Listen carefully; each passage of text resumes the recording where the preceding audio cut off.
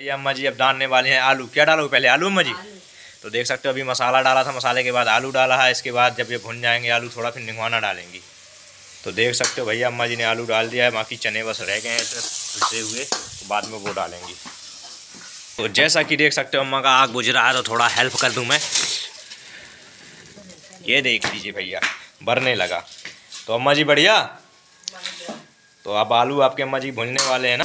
देख सकते हो आलू में मसाले का रंग चढ़ चुका है, बढ़िया है, मस्त लगने लगे हैं। अब क्या डालोगे अम्मा जी निंगवाना तो देख सकते हो अम्मा जी निंगवाना डालने जा रही हैं। बढ़िया, ये देख लीजिए चने का बट, चना चना जो पीसे रखे थे, वो डाल दिया अम्मा जी ने। तो इसके बाद थोड़ा भूनेंगे और फिर इसके बाद क्या डालोगे अम्मा जी पानी डालेंगे। स्वाद बढ़िया, ज़्यादा पतला भी ना हो, ज़्यादा गाढ़ा भी ना रहे।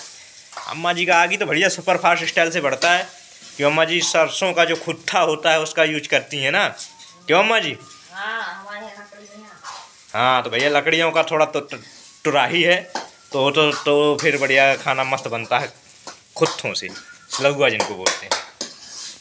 और देख लीजिए भैया, इनमें भी थोड़ा बहुत मसाले का रंग चढ़ रहा है, देख लीजिए चने, हल्का पीले पीले टाइप के हो गए हैं, हरे रहते हैं।